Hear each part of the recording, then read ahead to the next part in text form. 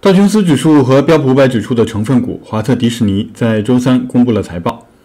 华特迪士尼是一家全球娱乐公司，该公司运营四个分部，包括媒体网络、公园体验、影视娱乐和直接面向消费者部门。媒体网络分部从事有线和广播电视网络、电视制作和发行、国内电视台以及无线电网络和无线电站。公园和体验项目包括主题公园、度假村。迪士尼游轮和迪士尼度假俱乐部，影视娱乐分部包括制作和发行电影、现场娱乐活动的开发、制作和许可，以及音乐制作和发行。直接面向消费者和国际业务提供普通娱乐、家庭和体育节目的视频流的订阅服务。该公司的国际频道制作本地节目或从国内工作室和第三方获得授权。那么，截止到四月二日的财季。这家全球最大的娱乐公司收入为一百九十二点五亿美元，同比增长百分之二十三，上年同期为一百五十六点一亿美元，低于预期。分析师之前预计公司的收入可以达到两百点五亿美元。华特迪士尼最近一个财季旗下的迪士尼 Plus 流媒体服务的订阅好于预期，未出现流媒体竞争对手奈飞所遭遇的增长放缓问题。Disney Plus 新增订阅用户七百九十万，达到了一点三七七亿，高于上一财季的一点二九八亿，同比增长百分之三十三，这超出了分析师预测的五百二十万新增用户。今年夏天，Disney Plus 将扩展到欧洲、西亚和非洲的四十二个国家和十一个地区，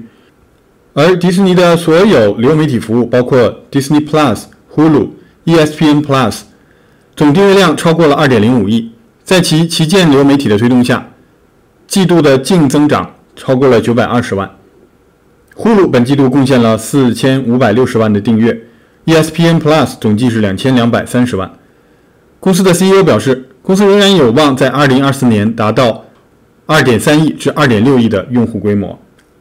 不过，对电影和电视内容的投资增加，该公司直接面向消费者部门的亏损增加了一倍，达到了八点八七亿美元。部分亏损被广告和订户收入的增加所抵消。同时，公司表示将削减电影和电视节目的支出，高达十亿美元。而公司的主题公园和消费产品部门，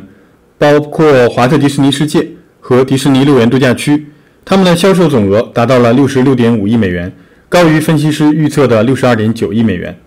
迪士尼的每股收益升至一点零八美金，但低于分析师平均预测的一点一七美元。部分原因是国际市场上缴纳的税款大幅上涨。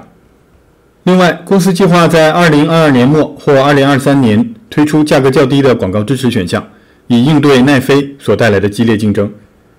迪士尼股票在财报公布后本来上涨，但管理层表示下半年增长可能没有之前预期的那么快。之后，股价开始大幅逆转，重挫达到百分之四点八。截至周三收盘，该股今年下跌了百分之三十二。成为道琼斯工业指数当中最大的输家之一。